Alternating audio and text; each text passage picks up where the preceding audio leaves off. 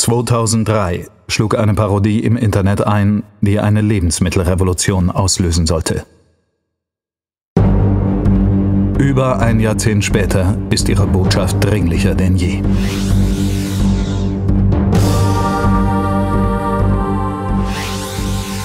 Hier, bitte, Leo.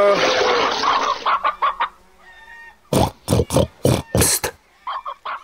Leo, Wer bist du denn? Und woher weißt du, wie ich heiße? Ich bin Mufois. Und ich weiß sehr viel über dich.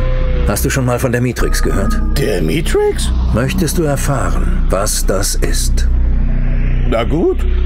Die Matrix ist überall um dich herum. Sie ist das Märchen, das wir uns darüber erzählen, wo unsere Fleisch- und Tierprodukte herkommen. Dieser kleine Bauernhof hier ist eine Illusion. Nimm die blaue Pille und bleibe in der Illusion. Nimm die rote Pille und ich zeige dir die Wahrheit, Leo.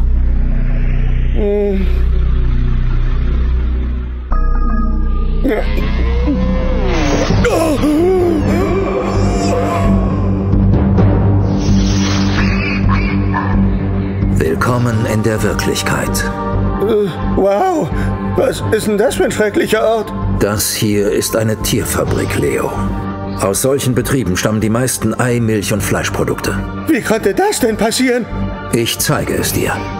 Mitte des 20. Jahrhunderts beginnen gierige Agrarkonzerne damit, traditionelle bäuerliche Familienbetriebe auf Kosten von Tier und Mensch umzustrukturieren, um ihre Profite zu maximieren. Die Massentierhaltung wird geboren. Tiere werden auf engstem Raum zusammengepfercht.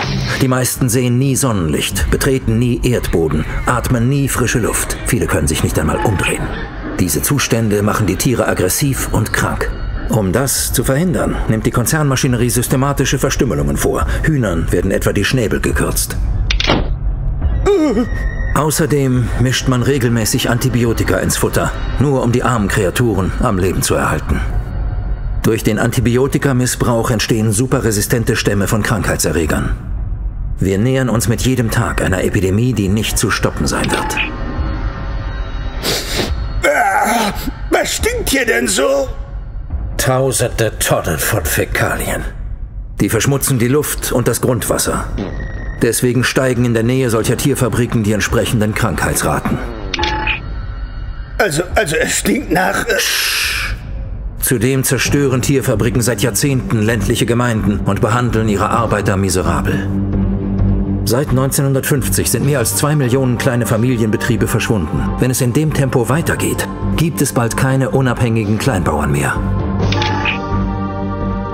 Das ist die Matrix, Leo. Das ist die Lüge, die wir uns darüber auftischen, wo unser Essen herkommt. Aber es ist nicht zu spät. Es regt sich Widerstand. da bin ich doch dabei! Yeah! Aber wie halten wir sie auf, Mufois? Wir verbreiten die Wahrheit. Aber die wahre Macht liegt bei euch, bei den Konsumenten. Unterstützt keine Massentierhaltung. In zehn Jahren hat sich viel verändert, oder? Ja, das stimmt.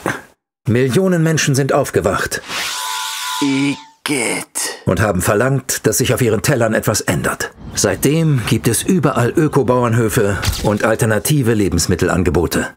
Na toll, Problem gelöst. Äh, Nicht so vorschnell. hä? Die Maschinerie rattert weiter. Der Widerstand ist zwar gewachsen, aber es gibt auch immer mehr Tierfabriken. Und die setzen sich massiv zur Wehr, um die Illusion aufrechtzuerhalten. Sie wollen Gesetze durchdrücken, die uns verbieten, sie an den Pranger zu stellen. Boah, jetzt reicht es aber. Na los, lasst uns allen sagen, was wir machen können. Unterstützt keine Massentierhaltung. Es gibt so viele Alternativen. Mit dem Eat Well Guide findet ihr nachhaltige Lebensmittelangebote ganz in eurer Nähe. Erzählt all euren Bekannten davon. Wir haben jetzt die Werkzeuge dafür, die Lüge ein für alle Mal zu entlarven. Gagak! Gemeinsam können wir die Zukunft unseres Essens verändern. Der Widerstand braucht euch.